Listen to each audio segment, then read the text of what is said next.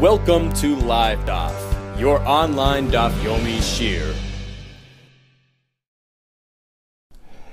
Shalom Aleichem and welcome back to today's Daf Hayemi.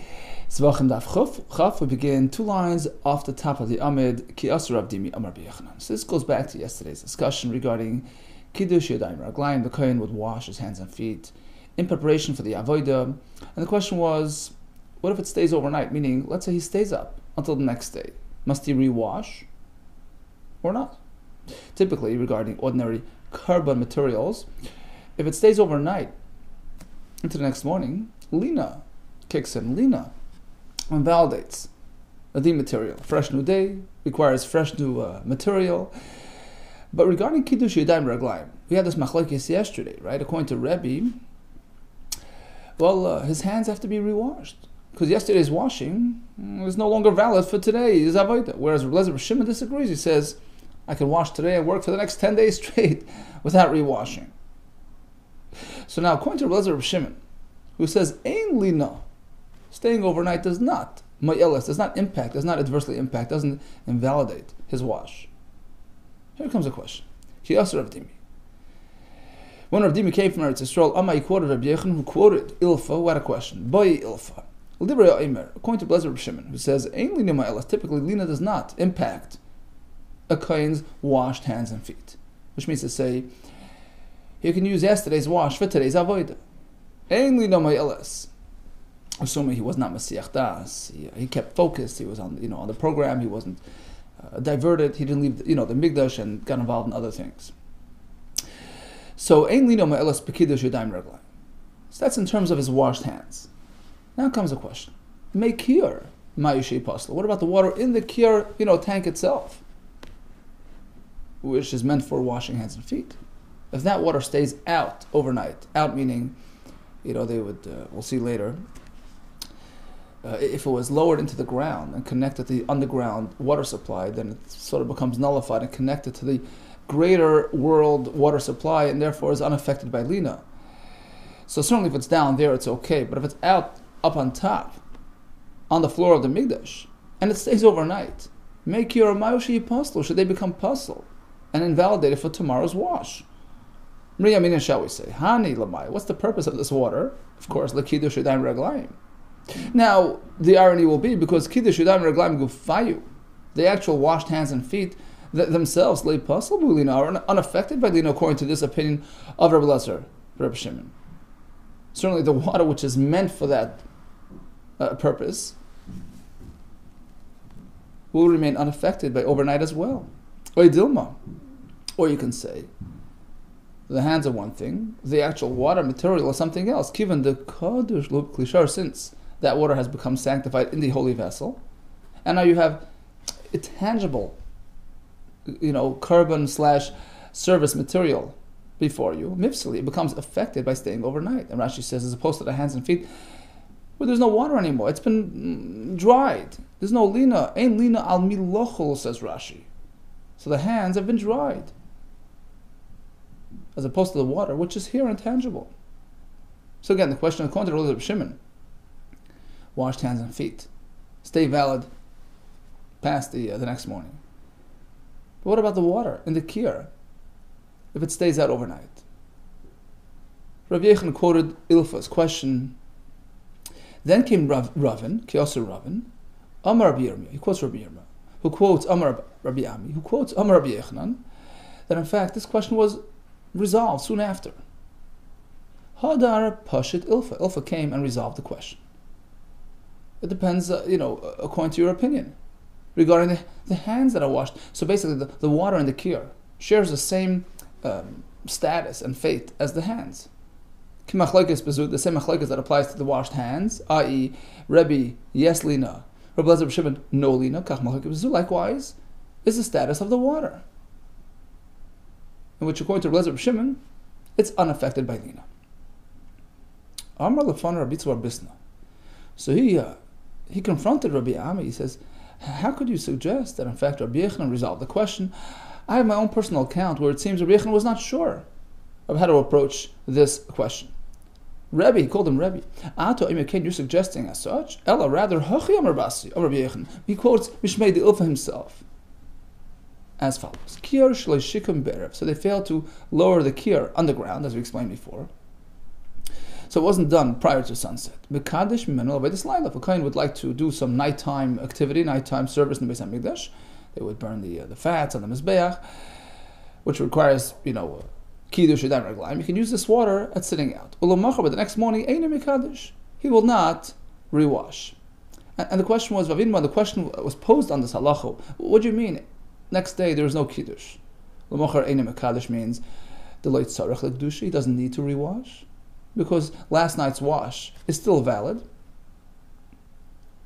Or that's not that's not what he had in mind when he was saying. Eidim Mekadosh meant to say, maybe that's also true, but what, the main point that you're saying was that you cannot use this water the next day anymore.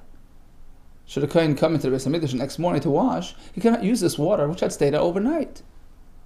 And this is going even according to Rosa Shimon, who says that the kohen's hands, which have been washed yesterday, are still valid to say, but the water itself, which is tangible korban material, tangible service material, which stayed overnight, becomes possible. You can't use it the next morning because it got impacted by lina. So which way? Water in the kier, yes, lina, or no, or, or no lina. And he didn't respond. He didn't have an answer. Meaning, there was no resolution in terms of the status of the water in the kir according to Rabbi Shimon of Amar. And you, you're so uh, sure about this that in fact Rabbi Yechanan resolved it. Clearly, he wasn't sure about it. So basically, the, the question still remains, which is according to the Shita, which is Rabbi Shimon, who says the Kohen's washed hands and feet can outlast the next morning. There's no lina to them.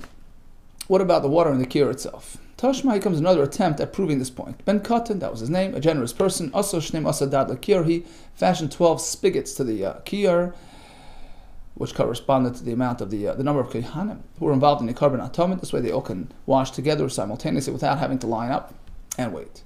What else did he uh, fashion for the kiyar? Afu Asa Mukhni Lakir, he fashioned this, um, this pulley system for the kiyar, which will enable them to lower it on the ground during you know the night. Shaloi meimav nifsal and belinas, the water in the kir will not become affected by lina. Apparently, lina is a concern regarding the water in the kir. Now, who's speaking here? Is it Rabbi? Is it Rabbi Lazar Shimon? My lab will assume Rabbi Lazar Rabbi Shimon. He, it's him speaking, and apparently he agrees that the water in the Kiyar could not stay overnight. Loi, no, not necessarily. So Rabbi, perhaps this Mishnah is going like Rabbi, where of course lina is a factor. Really, Vama Deresha. Reb Lezer, Reb Shimon. Well, if the uh, prior discussion in the Mishnah is in line with Reb Shimon's Shita, we'll assume this uh, segment of the Mishnah as well is lined up with his opinion, the Sefer Nami, which speaks about the Lina concern on the water. It's also Lezer Shimon. Now, what's the earlier segment in the Mishnah? Tani Reisha. So the Mishnah there speaks about the placement, you know, the location where they would um, do the uh, of the par on Yom Kippurim, which was kachi kachim, which requires tzafan. You see, uh, chatos, etc., needs to be shechted on the north side of the, of the Azara. Now, before uh, proceed with the Mishnah itself, just give a outline, a configuration of the various zones in the Azara, which we're going to speak about. We're going to focus on three particular zones. So, let's go from east to west, from down up. You enter the Azara. First, you have the uh, area where the Israelim are meant to be. Mokem Drisas Ragle Yisrael. Then you have another section, 11 Amis, for the Kihan. It's called Mokem Drisas Ragle where they would, uh, you know, would roam. That was to the east of the Mizbeach. Then you have the Mizbeach itself. To the north of the Mizbeach, so meaning between the Mizbeach's north wall and the Azara's north wall, that's really considered the side of the Mizbeach, the north side of the Mizbeach. That's the ideal place for doing the Shechita of Kachi Kachim, as per the Pasuk, Al Yerech HaMizbeach Tzafayna. The, you know, the side of the Mizbeach, the north of the Mizbeach, north of the Azara. The section above that, closer to the Heichel, would be called Bein Ha'ulam B'la Mizbeach, between the Mizbeach and the Ulam, which is the entry area to the Heichel. So what happens on the north side of the Azara, up over there? So regarding shecht korbanis, Shecht Kachi Kachim. The ideal place would be in, in section 1, to the right of the Mizbeach, directly between the Mizbeach and the north wall of the Azara. Next would be further up, you know, closer to the Hechel, which is holier, so to speak, right? Which is, uh, you know, one notch above. Ben Ulam Mizbeach. So again, if it's on the north of the Azara, even though it's not directly to the side of the of the Mizbeach, that also qualifies. And then you have section 3 towards the bottom. Again, the north of the Azara, but in front of the Mizbeach, between the Mizbeach and the east wall of the, of the Azara. So it's on the north of the Mizbeach, but not directly to the north of the of the, uh, the north of the Azara, but not directly on the north of the Mizbeach. So that would be considered, let's say, section 3, just, you know, for clarity's sake. So where would you shecht? Ideally in section 1. Second best, which is Rezer Shimon, he says, even section B qualifies.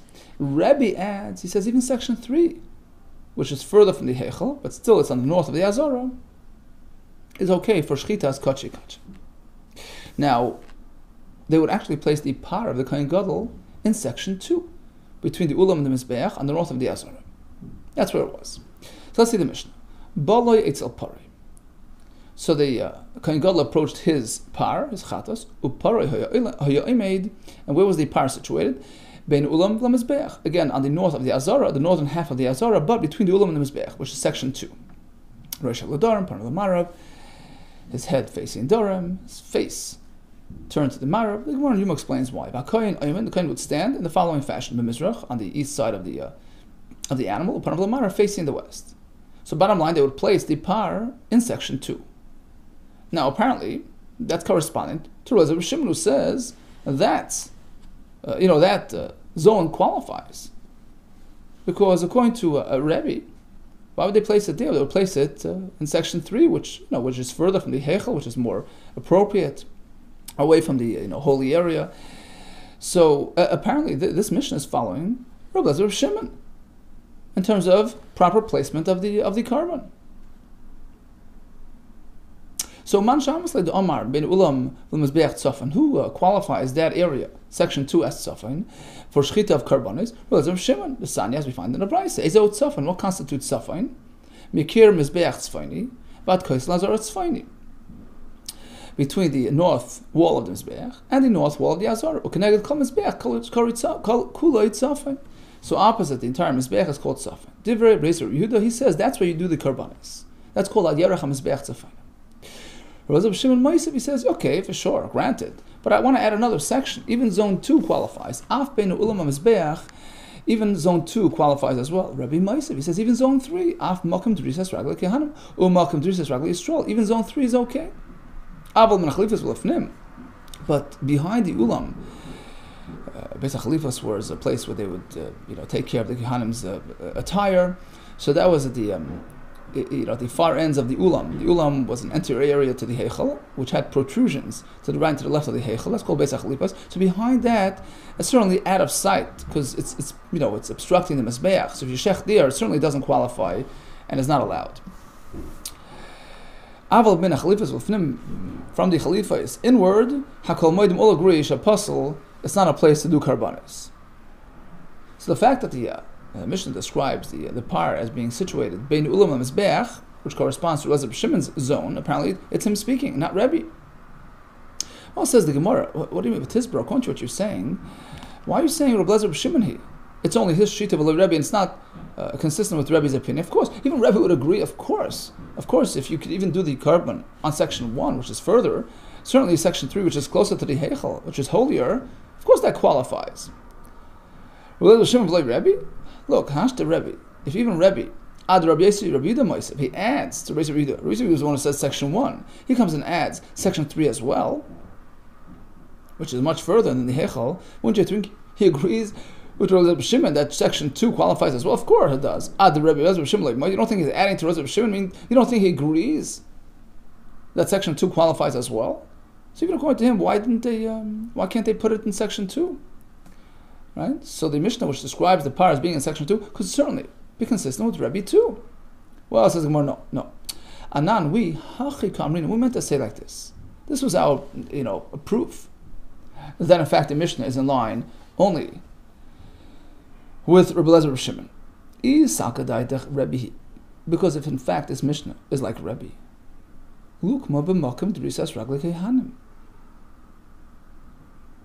Shouldn't they better have placed the par in section 3 with the Kehanim walk? Uba makim drisas ragli Yisrael with the Israelim walk. And Rashi explains. The Halav Oirach Ara, it's not Derech Eretz, Lakru Lahechel, to bring it so close to the Hechel, which is a holy area. You would assume they'll try to keep it at, distant, at a distance. So the fact that the Mishnah places the par in section 2 indicates that in fact it's not going like Rebbe. Well, says the Gemara, Elamai. So what are you telling me? What are you suggesting based on this calculation? That in fact, the Mishnah which describes the placement of the par as, in, as being in section 2, that is going like Rabbi Shimon and that explains why they put it in that location. You know, but even he would agree that section 1 is certainly suitable. So why they uh, go so close? They didn't need to. Like ma, let them place it mikir mizbeach at kois azar tzfani between the north of the mizbeach the north of the um of the azara, right between the north wall and the north wall, section one, which is certainly appropriate and ideal. So you must say there's a special reason. You must say the reason why they preferred closer to the Heichal is because Yom Kippur. He's up all night, the Kohen Gadol is fasting. He's in a weakened state of health. This way, the closer you get it to the Heichal, the less he has to travel with the blood into the Heichal. Hachanami here as well, according to Rebbe, that explains why they placed it in section uh, 2. Mishum Choshel Kohen Gadol, to address its weakness. So certainly this Mishnah can be in line with Rabbi Shimon, likewise according to Rabbi. It still would still justify why they placed the par so close to the Heichel. So you have no proof. Who's the author of this Mishnah? There goes our whole attempt at resolving our question regarding whether Lina affects the water in the Kiyar, which was mentioned in this in this Mishnah. But perhaps it's going like Rebbe, who says Lina is always a factor by Kiddush, Herdan Raglam. Certainly, if it affects his washed hands, it affects the water in the Kiyar as well. The question was according to Rabbi Shimon, who says the Kohen's ha- hands are unaffected by Lina. What about the water in the Kiyar? We leave it unresolved. Continues Gemara. Amar Beichnan. Kiddush Yodav Raglav Tumas Adesh. So Kohen gets up in the morning, early, still dark out there, in order to do Trumas Hadeshin. Shovel off a little of the um, ashes on the Mizbech, so he would take off and put it on the, pl- on the floor near the Mizbech, which was miraculously, the ashes were absorbed into the ground. He goes and washes his hands and feet in anticipation of that Avaidah. Now he'd like to carry on the next day. Must he rewash? No. Lamacher, according to all opinions, he doesn't have to rewash. Why? Because he already washed. At the beginning of this uh, new day of Avodah, even though it's pitch black outside, they would do Tumas Hadesh when the uh, you know the, the crow would start uh, crowing, when the rooster would start um, crowing. The, the, the, it's called Krois Hagever. Technically, it was still night, but the Kiddush for Trumas Adeshin is still valid and effective for the next day's work.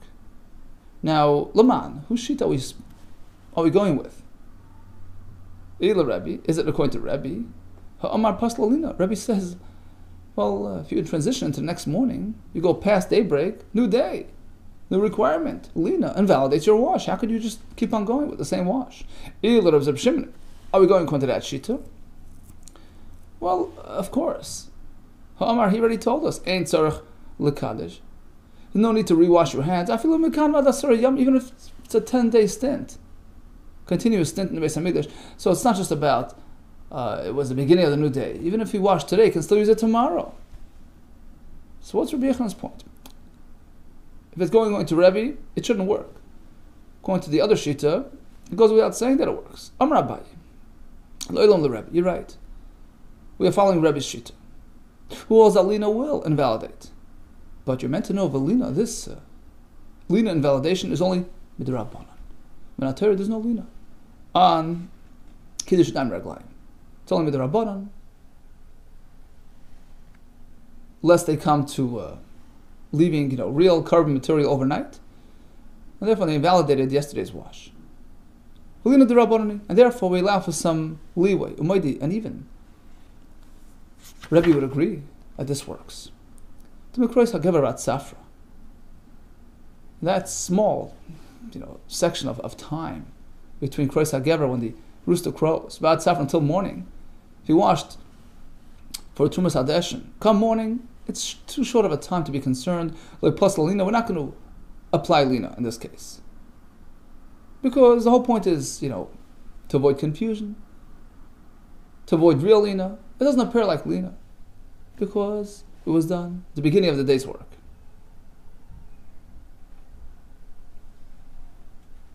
She says, it, it, it's like, it gives the impression like he washed at the beginning.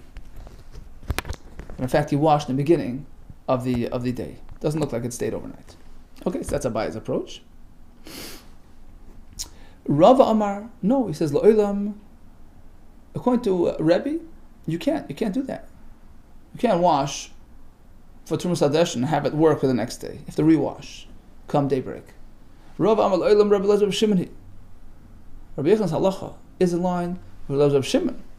However, in general, Rabbi Yechon disagreed with him. He says Lina will invalidate. But this is an exception.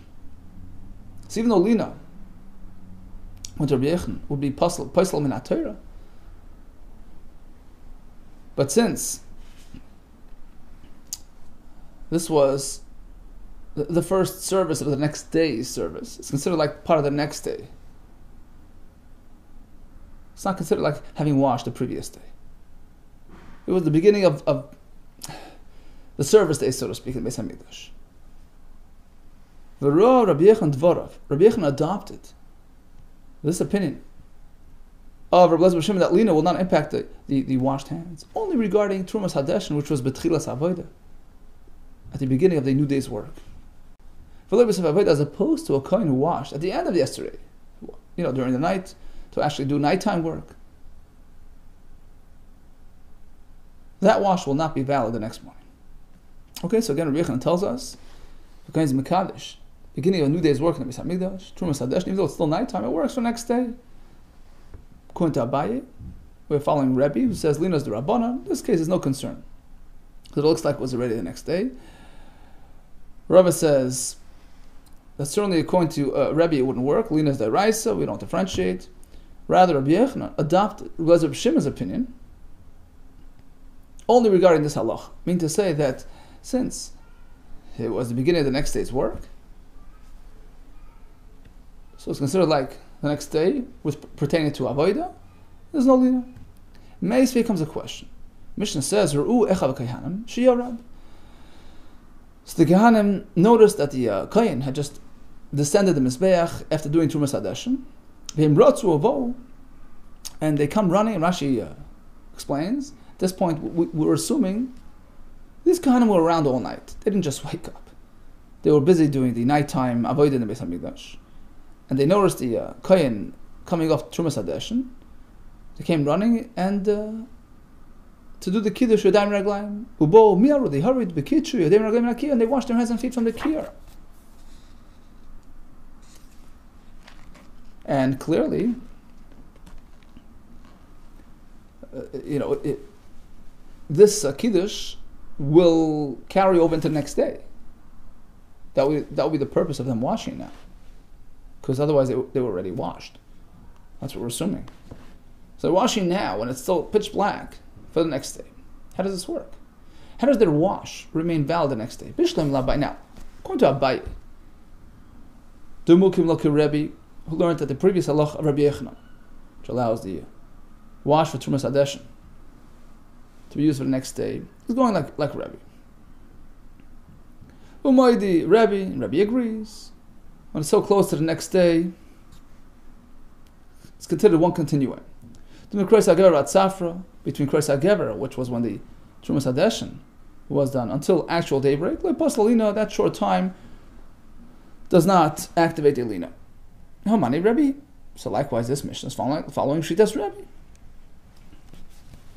They came to wash, but it was so close to morning, it works for the next day. El Rabba, according to Rabba's approach,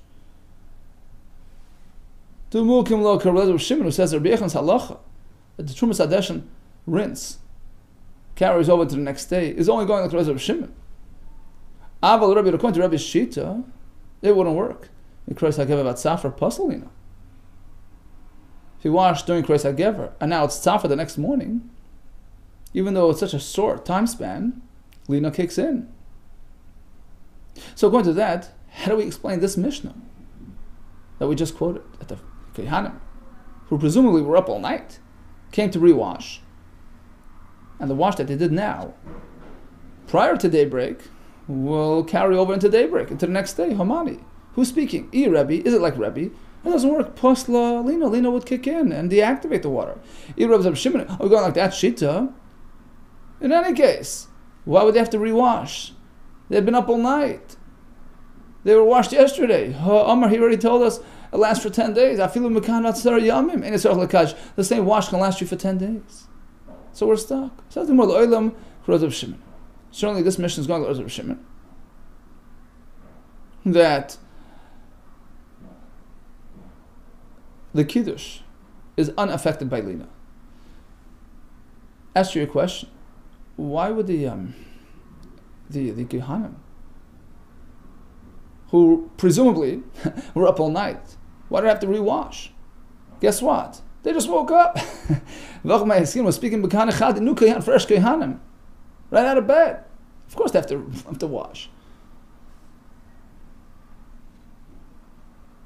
So that explains the Mishnah. Now comes a new shayf. So the Kohen washed his hands and feet, and then went outside the Beis Hamikdash for a stroll. When he comes back, must he rewash or not? Yitzia leaving the Beis Hamikdash. Ma'osh toil, will it invalidate Bekidush Yadayim Reglaim? Imtim Salayim. Now, if you'll suggest, in comparison to the uh, prior discussion, that Lina, loy Lina, staying overnight into the next morning will not invalidate.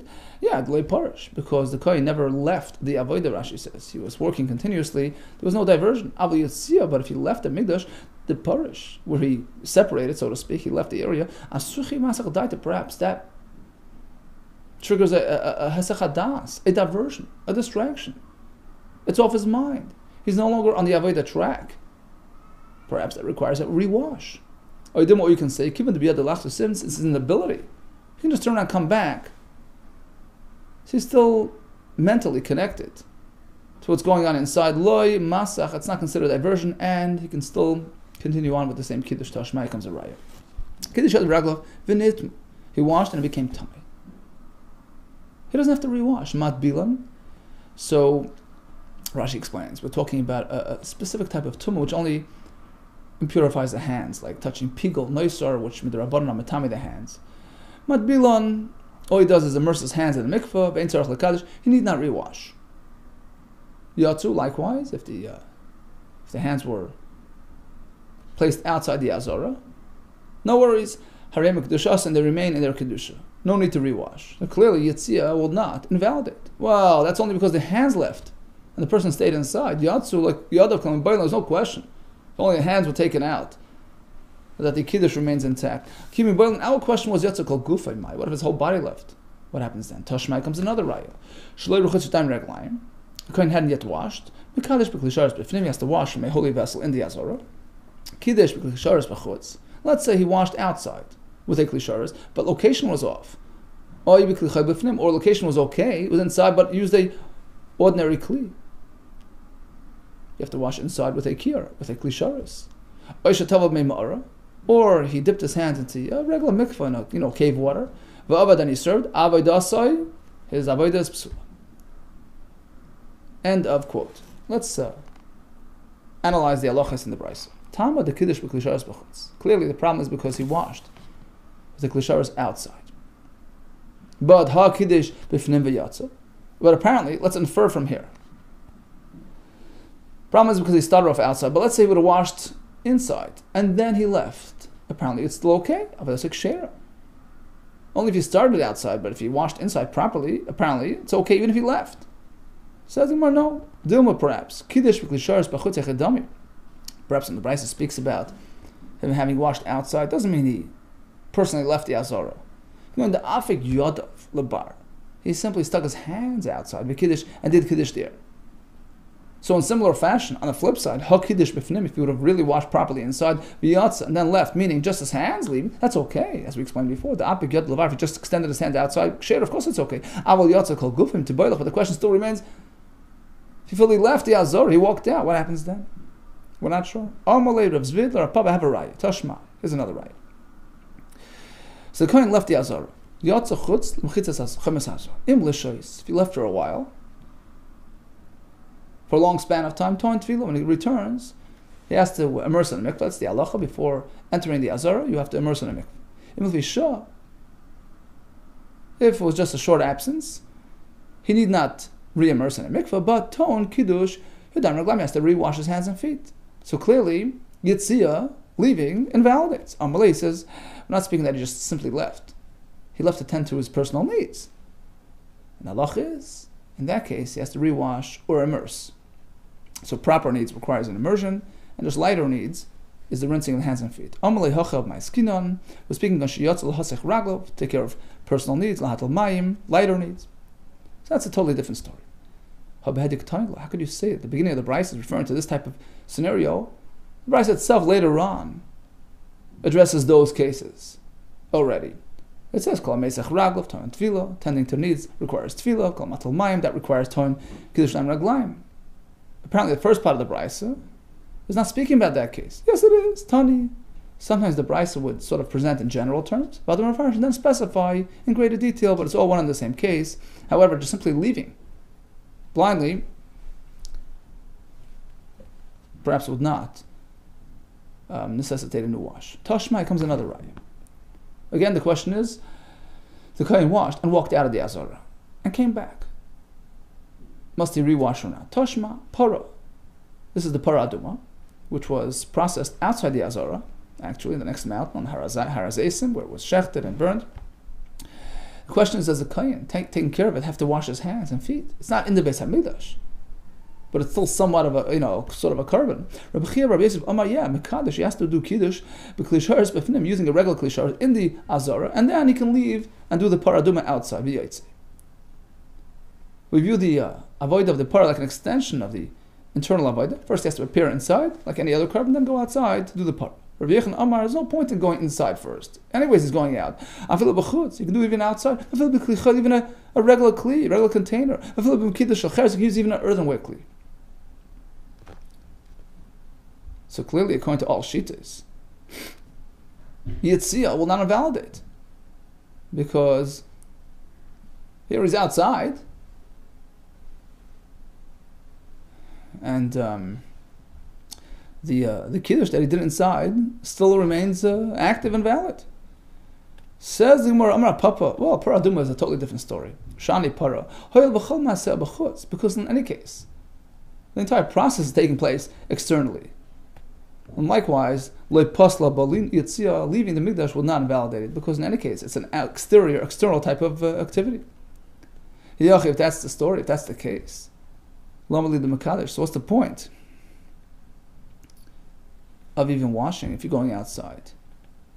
Because you have to do some, you know, similar process which resembles, which corresponds to what's going on in the Mikdash. That's the requirement, even though technically it's a totally different circumstance.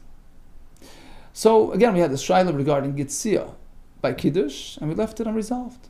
So certainly if he just sticks his hands out, there's no question, it will now invalidate the Kiddush. And certainly by Paraduma, no problem either even if he's entirely outside. But for a regular kiddush, a regular avodah, and he walks out of the azara, that rema- that question remains intact. Now comes a new question. Tuma, ma'o shatoyel, lekiddush yodayim raglayim. So the kohen did kiddush, and then uh, then his hands became tummy. Does it invalidate the kiddush? Im. Now, assuming regarding our previous discussion Yitzia, leaving the area, would not invalidate. But there's a difference. The Gavra Chaz, because in that case, the person is still, uh, you know, he's still suitable. Can really come back and do the avoid. Nothing happened to him. There was no change of status in the person. So I can understand why the hands retain their washed status. But in this case, where the Gavra Chazi, where the person is not able to do avodah. Are tummy. Asuchi masach date, perhaps that triggers a, a, a, distra- a diversion. He's distracted. He's Masiach Das. He's off the program. In which case, that requires a new wash. Or then what you can say, given the Hadar Chazi, since he can just come back and you know, fix himself up, he intends on, the, right, uh, immersing his hands in the mikveh and, and you know, returning to the Avodah, Donkly. So he's careful. And he'll be careful to, you know, keep his uh, focus, keep cognizant, protect himself from anything which is tummy, anything which would, um, you know, make the person tummy and validate him, etc. Tashmai comes at right. Kiddush Yadav Raglav Vinitmu. So we discussed this before. Kohen was Makadish, and then his hands became tummy. Madbilon, Veitzarch Lekadish. All he does is immerse his hands in the mikveh, and again we're speaking about a tum which only affects the hands. Vein tzorach lekadish without need to rewash. There you go. Tuma does not invalidate the kiddush. Well, says the one nitmu yadav. Like let me boil him. Never had a question. In this case, where only his hands became tummy, of course, it unaffects. It doesn't affect the kiddush. Kimi boil nitmu kol The question was, let's say the, entire, the kohen's entire body became tummy with a proper tumah, which is matame the entire person.